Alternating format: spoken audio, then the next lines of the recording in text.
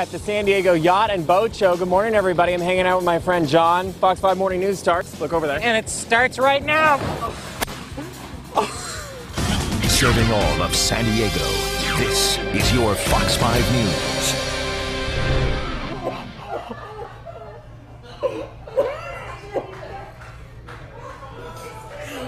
Oh my gosh! What is that? What is that? Can someone please tell me what's going on? We had remember last week Tony Parker of the Spurs was on vacation and he was renting yes, that's what he was this. It's renting. a water-powered uh, uh, jetpack. that almost took Matt Johnson down with them. That looks like fun. Is that Oh. Carl DeMaio? in the studio.